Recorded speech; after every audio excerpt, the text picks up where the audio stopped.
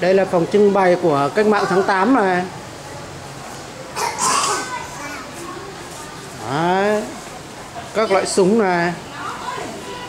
Tổng khởi nghĩa tháng 8 1945. Đấy, có cái gì anh Bi đọc được thì anh Bi đọc cho Nhí nghe với.